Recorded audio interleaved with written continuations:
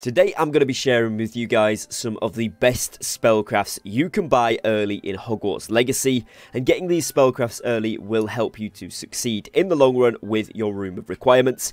I have had several comments kind of asking which ones I got first or which ones I would get first in hindsight so I'm going to go over the ones that I find to be the most crucial.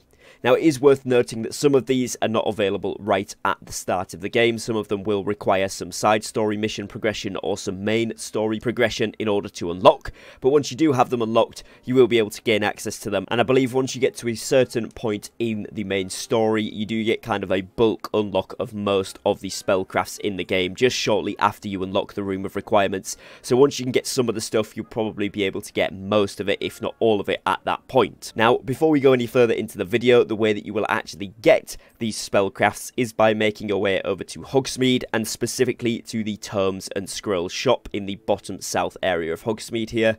The fastest way to get there is by going to the South Hogsmeade Floo Fire and then travelling down to the shop where you'll be able to purchase all of these. So first things first is going to be the material converters. You can see here on my conjuration menu that the material converters can be done in each of the four styles that you see running throughout the theme of the whole Room of Requirement, which are of course scientific, botanical, eclectic, and gothic. So they can fit nicely in with the rest of your decoration. Now this is probably one of the first things I would get in hindsight because as you guys can see from the gameplay here, if I head over to one of these, I can pick up the Moonstone and they actually give you 10 Moonstone every 10 minutes. Now, some players have argued that this isn't as worth it because if you just head over to the map and basically make your way around the world map, particularly in areas around the edges of cliffs and things like that, you are going to find quite a lot of Moonstone on your own and often you can get much more in 10 minutes than what you would get off of those. However, if you are just going to be going around doing the main story quest, or doing some other questing, these are actually quite a good investment because it means that you don't need to go out of your way and every time you come back to the room of requirements, you will have some moonstone waiting for you, which I have found to be quite nice. And unfortunately, I didn't get this as early on in the game as I would have liked. So that should be one of your main priorities. Now these, you are able to place up to three of down at one time and they do cost 15 moonstone each, which means you will need to collect twice from each station in order to get your moonstone back and then start making a profit. So essentially 20 minutes after they've been placed down, you will start to make a profit in Moonstone from placing these. So as long as you've got 45 Moonstone to get you started, and of course the gold to do so as well, to buy the Conjuration, then you should be pretty set to go. Now the next thing here is these hopping pots, as well as looking super cool and just jumping around in the room of requirements. These are really, really helpful, especially early on, because they will give you a whole host of different potions. Now you can't actually choose the potions that you get, that is kind of the caveat to how good these are, but if we go over and claim them, you can see that every 12 minutes a random potion will be brewed. And you can see there I've got two Wiggenweld ones and a Maxima potion. And that's really nice, especially early on in the game. You're going to get a few assignments that are going to ask you about things like invisibility and Thunderbrew potions.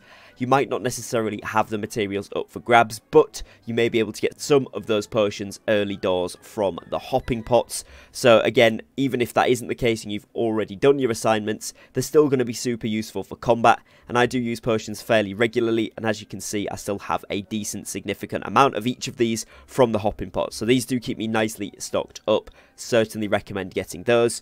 Again, this is another one that you can place three of at a time. They are found under the Potions menu, and then you can scroll down to the Hopping Pot section, and they cost 30 Moonstone each, so they are going to be a little bit more expensive than the Material Refiners, but again, these are super worthwhile putting down once you do have the availability of gold to buy the Conjuration, and then the Moonstone to place them. Another little tip which I learned from the comments on some previous videos, that if you do not want the potion that it gives you, for example, like me at endgame here, if I haven't done a few battle arenas, or I haven't been going around taking out foes, as you can see I'm at 18 Wiggenweld potions right now, but often I have been at 25. One thing you can do is actually use Evanesco, which will get rid of the pot, refund you the Moonstone, and then you can replace it down to get a different potion if it isn't something you want. However, you are still going to then have to wait the same amount of time, and it could end up being the same pot again. So it's up to you if you want to do that one, but it's an option if you have maximum health pots towards the end of the game. Now, of course, these tips would be incomplete without mentioning the chopping stations here. These are fantastic. They can give you random botanical ingredients for your potion crafting, and they take 9 minutes per time. And again, similarly to the hopping pots, you cannot pick what you get. So you do just get one random thing. Sometimes it can be quicker than what you would get. As you can see here, if I go onto my large potting station, fluxweed would take usually 15 minutes for a yield of 5, whereas the chopping stations only take 9 minutes. However, they do only give you a yield of 1, and you cannot choose which ones you get, so sometimes it may be quicker, sometimes it may be longer, and it is a random chance, similarly to the hopping pots. These ones I would always recommend picking it up the ingredients though, as the total limit for botanical ingredients does seem to be pretty high. I haven't managed to reach it yet, and I have got a couple of hundred of each of these. And then, of course, what you can do with them is use them to make any of the potions in the game that you would like to make. And that can be really good, particularly early on, if you don't have access to all of the plants or all of the different planters. You can get some of the ingredients you need for potions that you might not otherwise have got through these chopping tables. Chopping tables are, of course, through the herbology section, and then again, you go down here to the chopping stations. You can pick which style type you would like. These, again, have a maximum of three to be able to be placed down, and they do cost 20 moonstone each. After the material refiner, I would recommend these or the hopping pots, and whichever one you don't do, say you do the hopping pots first, definitely do these third, or vice versa, do these second and the hopping pots third, as these are going to give you a lot of natural production outcome, and it's going to be really good for helping you succeed in the game. The next one we're going to look at here then is the composters. These every 4 minutes will produce you with a bag of fertilizer, as you can see if we pick up from this one here. And what fertilizer does is allow you to increase the yield of a planter by 1. Now, sometimes if you just need some extra, let's say Mallowsweet, you've done a particular amount of Merlin trials and you're running low, so you want to increase the outcome, you will get an additional Mallowsweet. But this is also really good for some of those larger plants, like the venomous tentacula that you can see here, as these output one every time, so adding an additional one will actually double this. These can be found in your conjuration menu under the herbology tab, and again, just above where the chopping up stations are, you can find the composters. Again, you can choose any of the styles that you like to fit your room and place them wherever you want. And again, a maximum of three. This time these only cost 10 moonstone each. And in the grand scheme of things, I would say they are significantly less useful than both the chopping station and the hopping pots.